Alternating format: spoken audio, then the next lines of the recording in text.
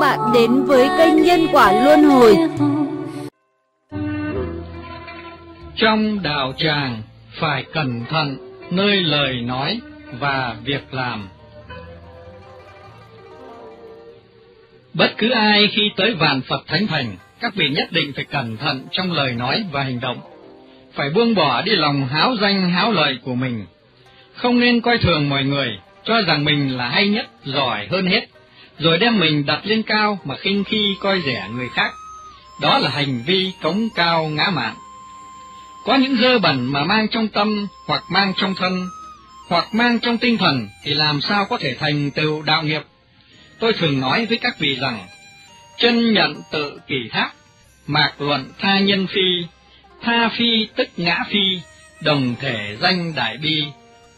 Các bạn hãy coi người khác như là chính mình vậy, coi sự khoái lạc vui sướng của kẻ khác cũng là sự vui sướng của chính mình. Khi người khác đau buồn, thống khổ thì hãy coi đó là sự thống khổ của chính mình. Khi ai làm chuyện tốt thì mình cũng ví như chính mình làm chuyện ấy. Khi ai làm chuyện ác thì mình cũng bị thương đau buồn như chính mình làm chuyện ấy. Mình phải có tư tưởng như vậy thì mới có thể cùng người khác ăn nở vui vẻ với nhau, mới khuyến khích giúp đỡ những kẻ phạm giới, cũng như khuyến khích những kẻ giữ giới, không thể có tâm tập hiền đố năng, nghĩa là ganh tị với người tốt và người có tài, cũng không thể chướng ngại kẻ khác phát tâm Bồ đề. Sau khi xuất ra, ở chùa làm việc thì nên mau chân mau tay, tuyệt đối đừng đi khoe khoang, tuyên truyền công lao của mình, rằng tôi làm như vậy, tôi làm như kia. Nếu mà khoe khoang công lao thì ngược lại chẳng có công đức gì.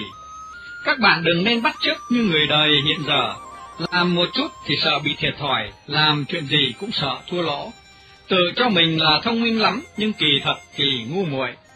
Tất cả công chuyện mà bạn làm hàng ngày, bạn không cần phải nói ra, bởi vì các vị thần hộ pháp ghi nhớ rất rõ ràng.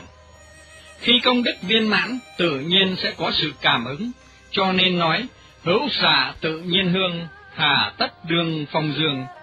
Nghĩa là, có mùi hương thì tự nhiên thơm ngát, không cần gió để thổi đi.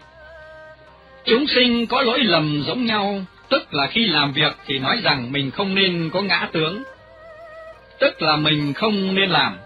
Đến lúc ăn cơm thì nói rằng mình chẳng nên có nhân tướng, bởi vì không có người khác nên mình cứ tha hồ ăn. Đến lúc cãi lẫy với nhau thì nói rằng, ồ, mình không nên có chúng sanh tướng, tức là cứ việc cãi lẫy đi, không có chúng sanh đâu. Hẹn gặp tụi bay được lên cõi Tây Thiên.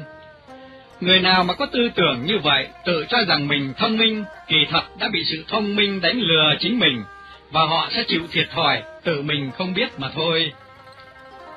Những người tu hành chúng ta lúc nào cũng phải nhiếp tâm kiểm soát chính mình, phải làm chủ tự kiềm chế mọi cử động hành vi của mình, đi, đứng, nằm, ngồi, đừng nên rời khỏi nhà, tức là chân tâm. Không rời, tức là không đi soi mói, tìm tòi lỗi lầm của kẻ khác, cũng không nói thị phi về người khác, tức là mình phải cẩn thận trong lời nói và hành động. Lúc nào cũng hồi quang phản chiếu, soi lòng mình phải tự tìm ở nơi mình, phải diệt trừ tánh nóng nảy kỳ quái của mình để giữ gìn công phu nhẫn nhục. Nói đi nói lại, cốt ý là bạn hãy bớt nói, tu nhiều hơn, đừng bao giờ nên khoe khoang chính mình tôi như thế này, tôi như thế kia. Bây giờ đã xuất gia rồi thì đừng nên có thói quen như người tại gia. Xuất gia là vì sao? Bạn hãy phản tỉnh, nhìn lại chính mình có nên hay chẳng nên.